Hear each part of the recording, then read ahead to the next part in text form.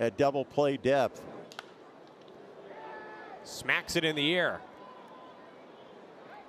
Dunn. the second baseman, makes the catch, pivots and throws home on the money. Valenzuela the tag.